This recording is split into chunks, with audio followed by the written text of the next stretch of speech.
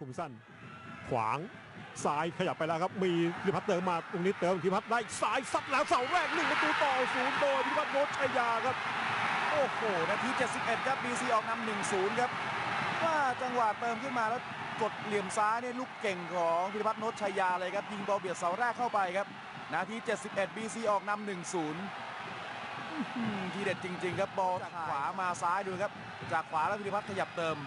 ไม่ต้องมีจับเลยครับซัดเปรี้ยงเสาแรกครับโอ้โหสวยงามมาก น่าจะเป็นธนบูรณ์นี่ไหลมาให้นะครับโอ้โหดูครับ น้ำหนักทิศทางใช่หมดเลยครับ อีซ้ายของพิรพัฒน์โนชชัยยาครับ โอ้โหนี่แบบนี้ยิง 2 ประตูด้วยครับฤดูกาลนี้ฟรีคิกสวยๆลูกหนึ่งนะใช่ครับเพราะฉะนั้นเจอยิงบุรีรัมย์ ชมสดสูงสุดถึง 10 คู่ต่อสัปดาห์ ในราคาเพียง 50 บาท หรือติดตามทีมโปรดของคุณทั้งฤดูกาลชมสดทุกแมชเพียง 590 บาทเท่านั้น